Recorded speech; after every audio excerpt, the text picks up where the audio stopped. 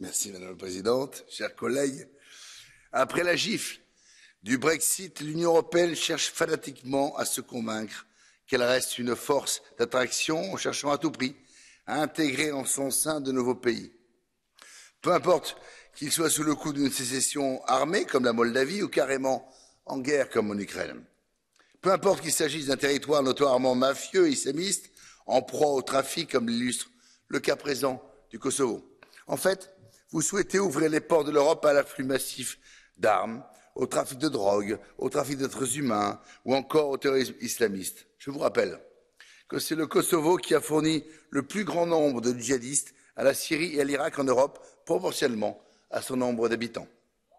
Pourtant, vous préconisez sans délai l'adhésion du Kosovo à l'Union européenne, ainsi que la libéralisation des visas pour les Kosovars, sans vous soucier que cinq États membres de l'Union européenne ne reconnaissent toujours pas l'existence du territoire.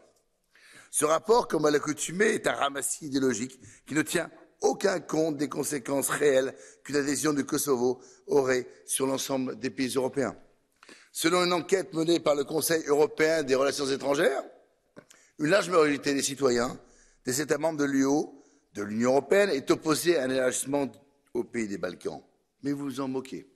D'autre part, le gouvernement kosovar souhaite à terme l'intégration du Kosovo dans une grande Albanie qui se retrouverait de facto membre de l'Union européenne en pleine contradiction avec la résolution 1944 du Conseil de sécurité des Nations unies. Et ça, vous vous en moquez aussi.